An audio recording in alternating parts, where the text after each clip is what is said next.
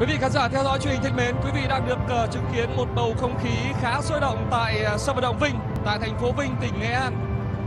Ngày hôm nay chúng ta sẽ cùng theo dõi trận đấu trong khuôn khổ vòng đấu thứ 10 của giải bóng đá vô địch quốc gia LS năm 2021. Trận đấu giữa Sông Lam Nghệ An gặp Hồng Lĩnh Hà Tĩnh.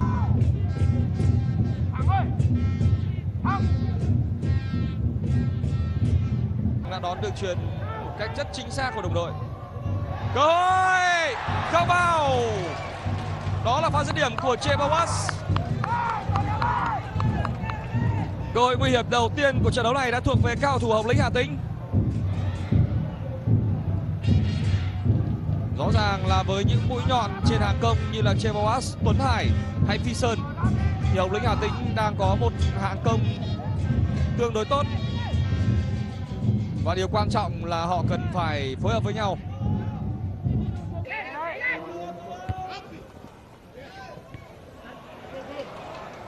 Phí Sơn. Phí Sơn đối mặt với Igor Zelic đánh đầu không vào.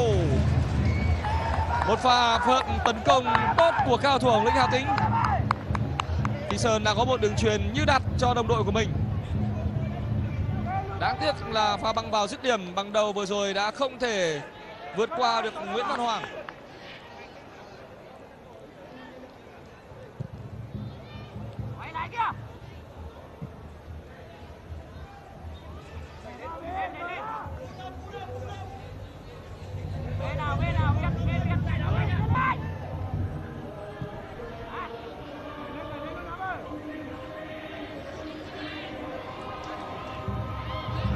Xa. Cú sút khá bất ngờ của trần phi sơn.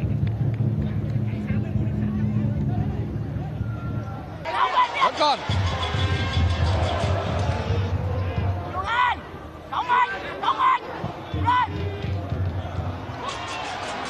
Pha đánh đầu của bruno.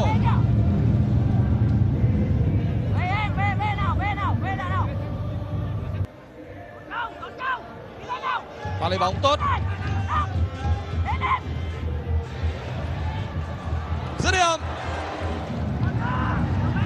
Đội phản công, phi sơn chuyển bóng cho tuấn hải. Văn hoàng đã băng ra rất kịp thời để phá bóng. Văn vĩ. Đường truyền khá tốt của văn vĩ. Vẫn còn.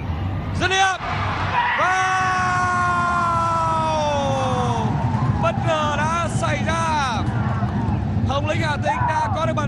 tỷ số trước. Đó là pha đánh đầu của Chebawas tưởng như ông lĩnh hà tĩnh đang ở trong tình thế khó khăn, sẽ gặp phải những khó khăn trên sân vinh ngày hôm nay. Thì họ đã chơi đầy tự tin và đã có được bàn thắng mở tỷ số trước.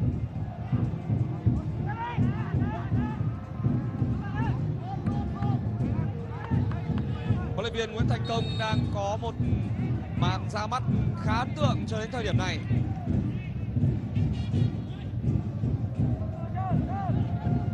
Hồng Lĩnh Hà Tĩnh đang chơi đầy tự tin.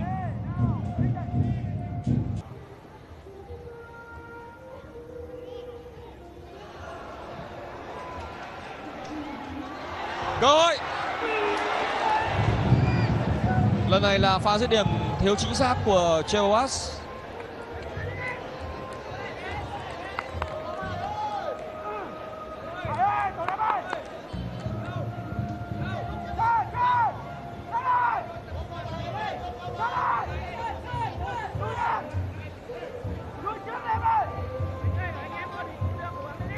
với một cự ly này, thì Chewas cũng hoàn toàn có thể thực hiện một cú sút thẳng căng về phía khung thành của Văn Hoàng. Rất có thể ở đây sẽ là một pha sút bóng căng. Đúng là như vậy. Chewas đã bất ngờ thực hiện một quả đá sệt. Bóng đi căng.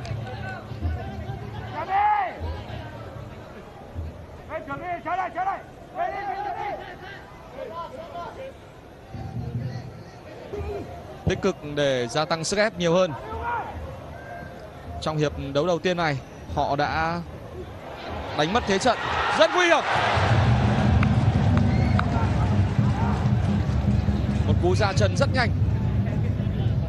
Đáng tiếc là cú sút vừa rồi lại chưa đủ hiểm và cũng chưa đủ sức mạnh để gây khó khăn cho thủ thành Quang Tuấn.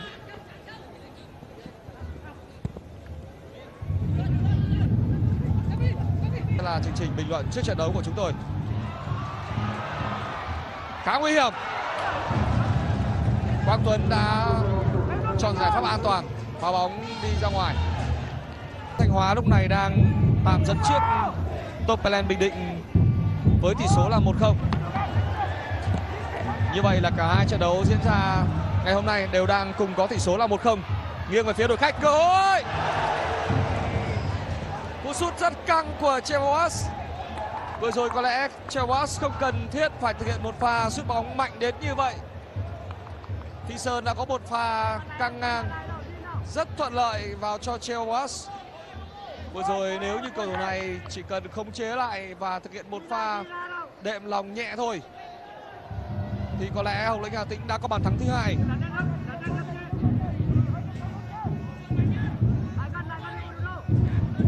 Bruno. Phạm Văn Đức. Phạm Văn Đức.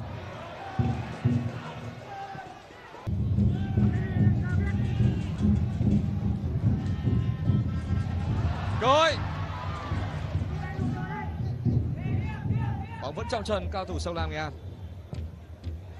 Đánh đầu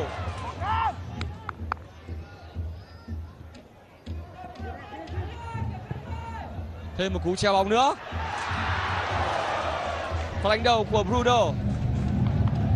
Bàn thắng đầu tiên của cao thủ Hợp Vĩnh Hà Tĩnh đến từ một tình huống đánh đầu cận thành của Cheboas.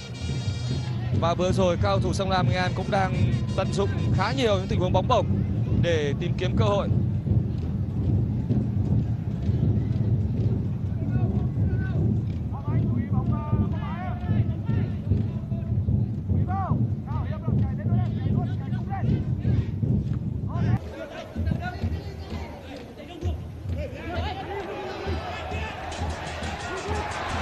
Cơ hội cho sông lam nghệ an. Dứt điểm.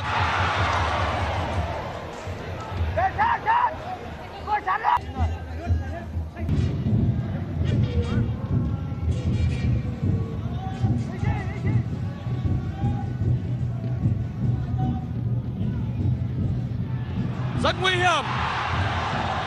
Pha nhảy và cao đánh đầu của Bruno nhưng vừa rồi thì Kelly và Trọng Sáng đã kịp thời ngăn chặn pha uy hiếp khung thành của Bruno.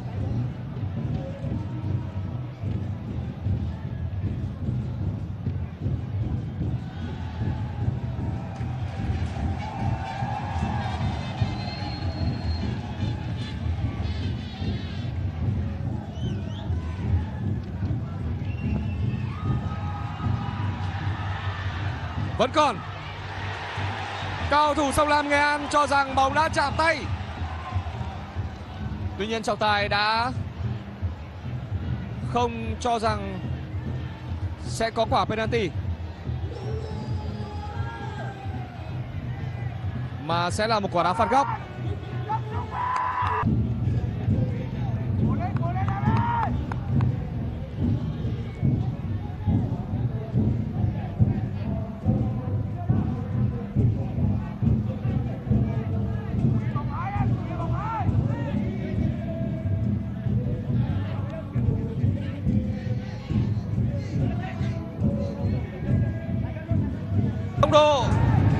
Sải chân rất dài của Akinade.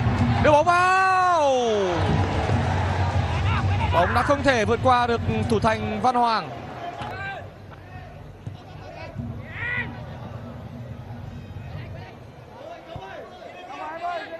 Cơ hội phản công. Rất nhanh. Có ba cầu thủ áo hồng đã băng lên. Đường truyền rất vừa tầm. Dứt điểm đi. Không vào. Vẫn còn. Treo dứt điểm. Hai cú sút liên tiếp. Sóng gió đã trôi qua.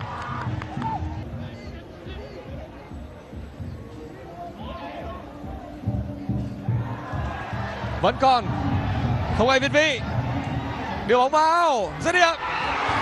Rất dễ dàng. Tỷ số là 2-0. Bàn thắng của Tuấn Hải đã đặt dấu chấm hết cho những nỗ lực của Sông Lam Nghệ An. Và bàn thắng vừa rồi cũng chắc chắn mang về 3 điểm cho Hồng Lĩnh Hà Tĩnh và huấn luyện viên Nguyễn Thành Công. Huấn luyện viên Nguyễn Thành Công đã có một màn ra mắt rất ấn tượng.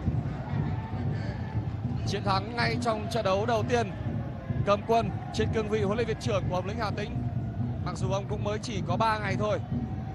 3 ngày làm việc với Hồng Lĩnh Hà Tĩnh.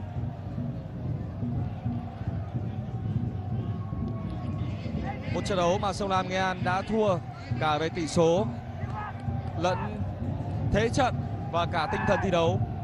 Họ đã buông xuôi quá sớm. Rõ ràng là Sông Lam Nghệ An đang thiếu những cầu thủ chất lượng, đặc biệt là những cầu thủ tấn công. Và điều đó khiến cho sức tấn công của đội bóng này đang ngày càng yếu hơn. Và họ đang bị phụ thuộc quá nhiều vào phong độ của Phan Văn Đức.